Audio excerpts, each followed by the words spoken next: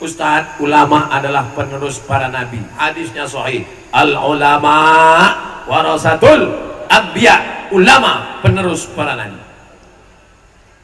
Di zaman ini, di mana fitnah dan dusta merajalela ketika umat dihadapkan. Ini novel apa pertanyaan?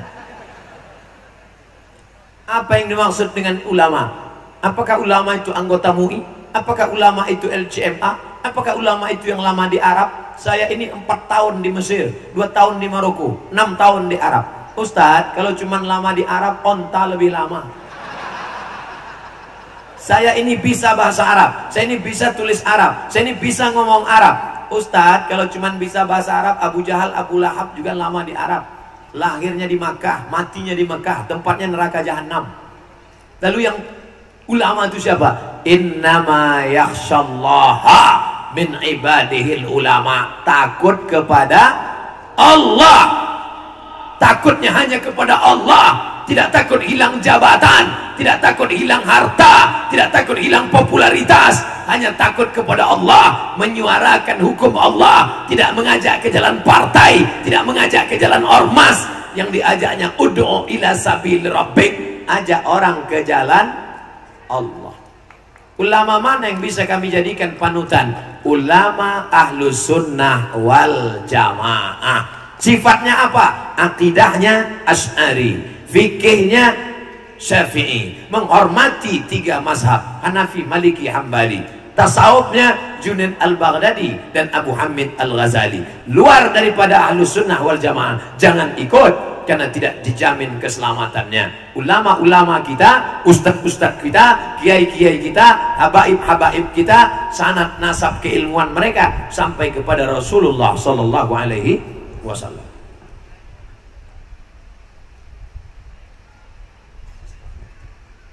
Dalam bekerja waktu sholat subuh jam 4 lewat 7 sedangkan waktu istirahat selesai kerja jam 5 yang didahulukan sholat dulu atau kerja dulu Makanya pilih anggota legislatif yang bisa memperjuangkan waktu sholatmu.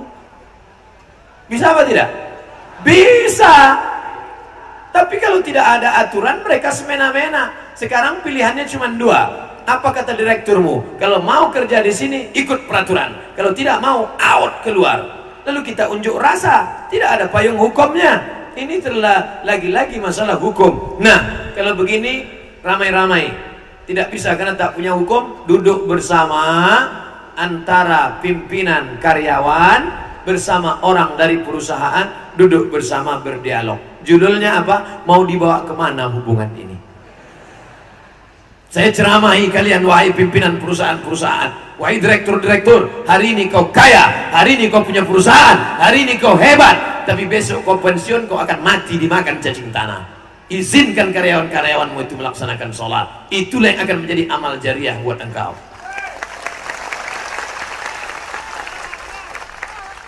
Hai para karyawan-karyawan, kau sibuk kerja, mencari dunia setelah kau mati. Yang pertama ditanya malaikat adalah sholatmu. Saya bangga. Jenderal berbintang pundaknya. Apa kata dia? Panggilan manusia saya tidak takut. Panggilan atasan saya tidak ngeri. Tapi panggilan Allah wajib saya taati. Waktu saya ceramah, dia mengawal di belakang. Saya ceramah, dia mengawal. Siapa itu? Kapolda Sulawesi Selatan. Viral video.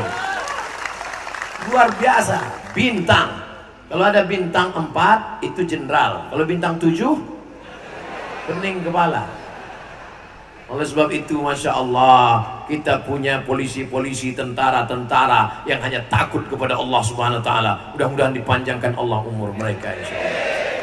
Mereka yang tentara baca Quran Yang polisi takut pada Allah Sholat berjamaah Mengawal para ulama Ente baru jadi pimpinan perusahaan Itu pun sementara direktur yang baru naik Habis itu pun ke pensiun Habis pensiun stroke, stres, mati Apa yang akan kau bawa? Perusahaan-perusahaanmu tinggal binimu. Sudah selingkuh duluan. Anak-anakmu habis. Iya kalau anakmu pernah kau sekolahkan agama mati engkau didoakannya. Rabbi firli wali walidayya. Andai tidak begitu kau mati dia pun datang pakai pakaian hitam. Anaknya pakai hitam bininya pakai hitam dia pakai hitam. Habis itu datang ke kubur bawa bunga. Man in black. Tak tahu baca apa-apa yang kekal abadi adalah ibadah solat hai direktur hai pemimpin hai orang yang berkuasa hai calon anggota legislatif, hai orang yang ada harta, hai engkau yang memiliki jabatan, semua akan tinggal. Yang akan kau bawa mati adalah waktu yang kau berikan kepada karyawanmu, karyawan yang takut kepada Allah, semuanya melaksanakan sholat. Itulah yang akan menjadi kekal abadi. Illalladzina amanu, kecuali orang yang beriman, wa amilus solihat dan beramal so, soleh. لا إله إلا الله محمد رسول الله عليه صلاة الله وآله والأحبة لا إله إلا الله محمد